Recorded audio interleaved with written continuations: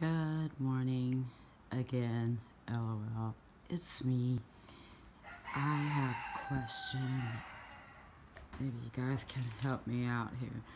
Um, my driver's side front wheel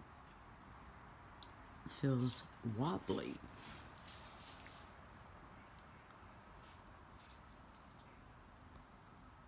These tires aren't very old, but I'm thinking that they're off balance.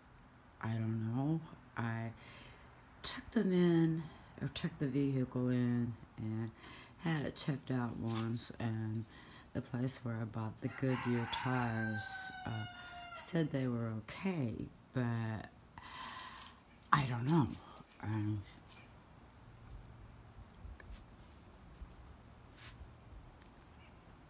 I'm not having that problem in the back wheel. And when I use four-wheel drive I'm not feeling that on the vehicle. So I don't know.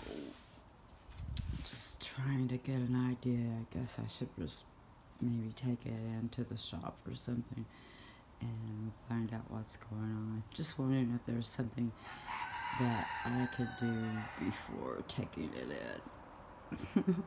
Alright, I'm out of here. Bye.